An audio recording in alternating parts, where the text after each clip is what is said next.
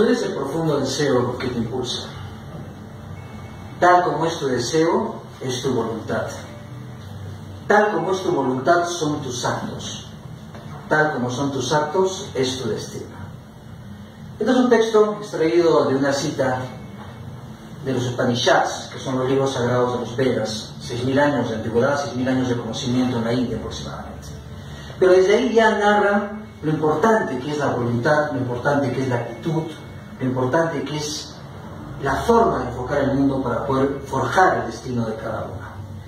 Vamos a conversar en este breve segmento, un poco el día de hoy, sobre el poder de tus elecciones.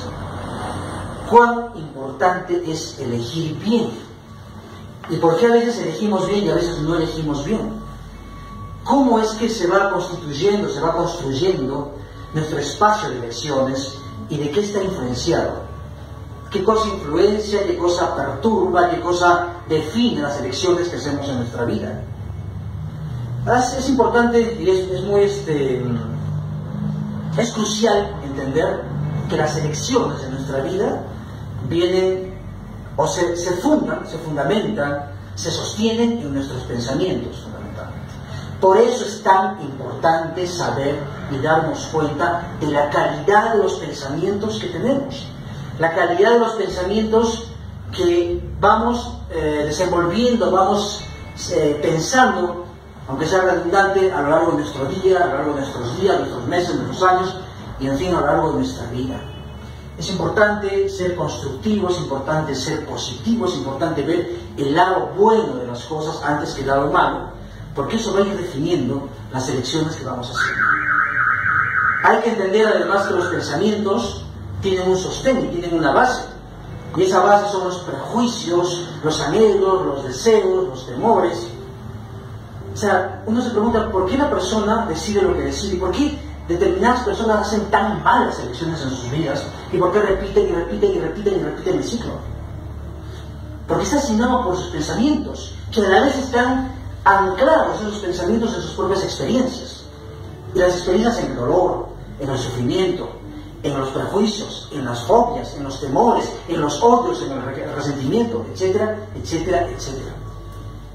Eso va definiendo un tipo de pensamientos que a la larga nos, nos trae felicidad, porque son pensamientos que no nos están construyendo, que no nos están dando algo bueno para la vida, sino están fundamentados, están fundados en emociones negativas y en experiencias negativas. Experiencias negativas que se han construido a lo largo de nuestra historia personal en relaciones negativas. Mala relación con nuestros padres, mala relación con nuestros hermanos, mala relación con nuestra madre, mala relación con los amigos, eh, un hogar abandonado, o un niño en un hogar abandonado, una niña, etcétera, y temas incluso mucho más fuertes que solemos nosotros ver en consulta psicoterapéutica, ¿no? como, como psicoterapeuta.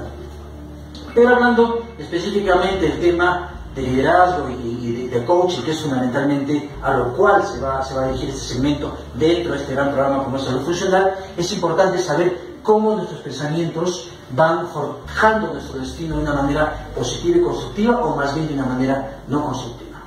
Por eso es tan importante cultivar buenos pensamientos, cultivar buenas emociones, cultivar buenos amigos, cultivar buenas relaciones, porque eso te va nutriendo y va nutriendo además tu capacidad de ser, de estar y de vivir felizmente. Y eso hace que todo brille, que todo se produzca mejor, que tengas mayores ventas, que tengas este, más clientes, que, que, que, recibas a las personas siempre con una sonrisa. Y la recibes con una sonrisa porque tú te sientes bien, porque no tienes que fingir nada fuera.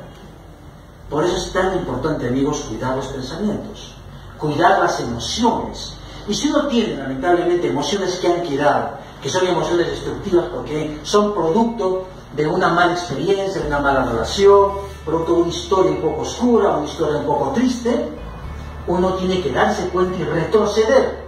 Buscar ayuda profesional entonces, si no puede hacerlo por sí mismo, no puede darse cuenta por sí mismo, o no puede tomar conciencia por sí mismo, retroceder y empezar a curar esas heridas. Si uno no cura esas heridas, esas heridas lo acompañan a uno toda la vida y van a ir haciendo, van a ir tiñendo con esas heridas todo lo que uno hace. Es fundamental, estimados amigos y amigas, cuidar los pensamientos, cuidar las emociones, cuidar la actitud, cuidar la parte emocional, la parte que al final es, es la parte más vital de los seres humanos. Porque el intelecto hace cosas interesantes, hay personas que son muy exitosas, entre comillas, muy exitosas, que tienen mucho dinero, pero que sufren en sus vidas. ¿Por qué? Porque su lado emocional no ha sido bien desarrollado. Su lado, su lado personal interno tampoco se ha desarrollado o no está bien cimentado.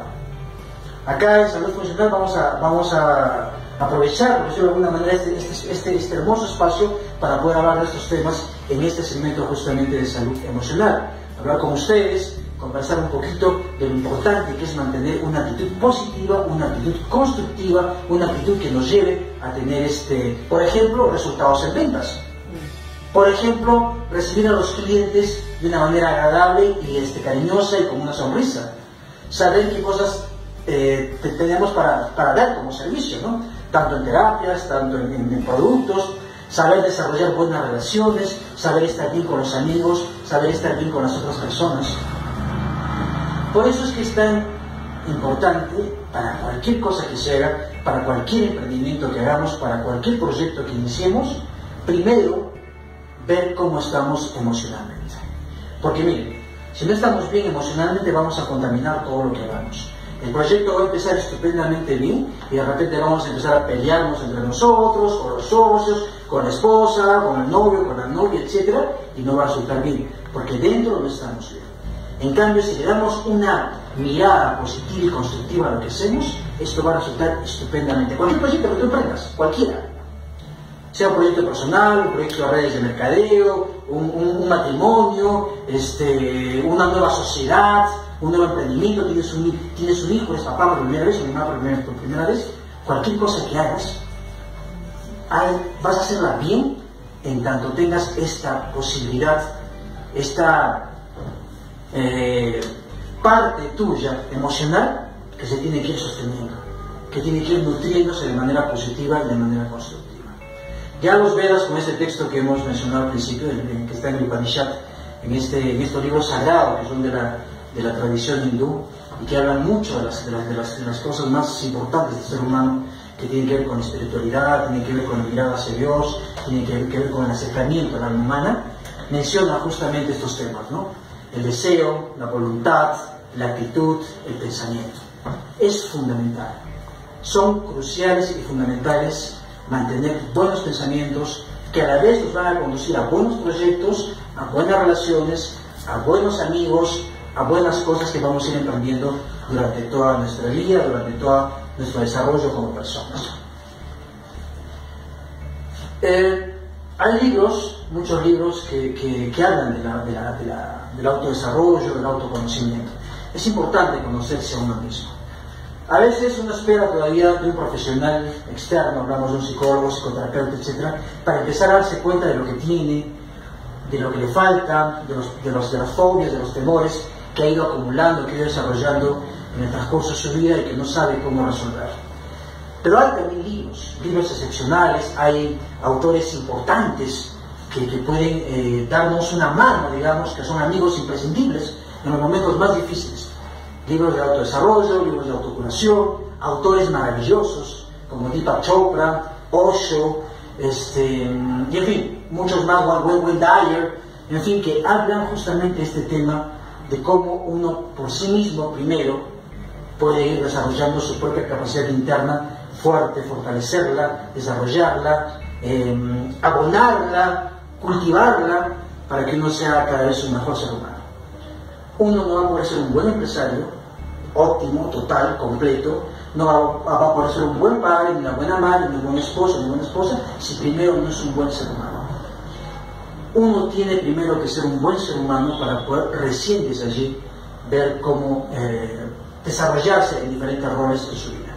Uno quiere ayudar a las personas, por supuesto hay muchas personas que quieren ayudar a los otros, pero si uno no primero se ayuda a sí mismo, no va a poder ayudar a los demás. Es como este, una persona que ve a alguien que se cae, alguien está en un muelle y cae al mar y está por ahogarse. ¿Ustedes creen que una persona va a ser útil, una persona que no sabe nadar, tirarse a rescatar a esta otra persona? Se desahogará también.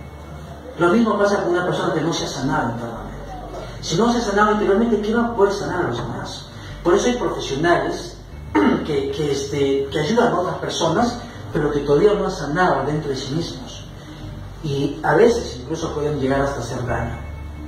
Por eso es tan importante estar bien internamente. Buenos pensamientos, buenas emociones, buenas palabras, buenos actos. En el budismo se habla de lo mismo. El Buda, este gran maestro milenario de la India también, habla justamente de lo mismo. El maestro Jesús también. El maestro Jesús habla de las obras de los hombres, no de las palabras, sino de las obras, de lo que uno tiene que hacer, de uno, cómo uno tiene que desarrollarse, de ser mejor persona para a partir de eso poder ser un mejor empresario, un buen vendedor, un buen amigo y tener buenos clientes y recibir a la gente siempre con una sonrisa. Por eso, ya para resumir este espacio, vamos a eh, hablar, vamos a resumir las cosas que hemos, que hemos tocado. Buenos pensamientos, buenas emociones, buenos sentimientos. Si uno solo no puede lograr descubrir qué está pasando mal en su vida, tiene que acudir a un profesional. Pero es necesario curarse primero uno mismo para poder curar a los demás. Es necesario ser una buena persona para ser un buen vendedor, para ser un buen empresario, para tener una gran tienda, para ser un buen padre, una buena madre, un buen esposo, una buena esposa, etc. Es importante, amigos, que cuiden su salud emocional, que cuiden su salud espiritual, que cuiden su cercanía a Dios desde el concepto que ustedes tengan de Dios. Pero es fundamental, es importante. Nútranse de buenas emociones, buenos pensamientos, buenos amigos, buenas palabras, buenos actos y todo eso los va a llevar a cada uno de ustedes a la felicidad. Gracias y hasta nuestra próxima ocasión.